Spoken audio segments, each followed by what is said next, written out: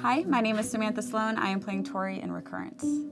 The set experience so far has been really fun. Everyone is so nice. We became friends really quick.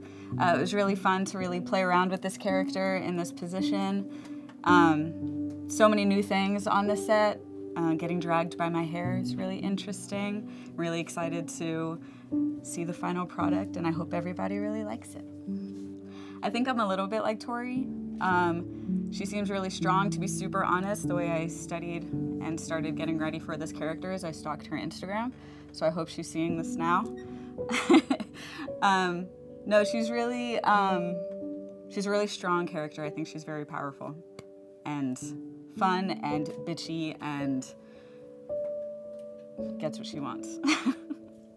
My favorite thing about the story, um, I think it tells some stuff that's really important about drug abuse and really just not taking your friends for granted and knowing that however you treat yourself can heavily affect the people around you. If you hurt yourself, you're hurting them too. I think it's powerful.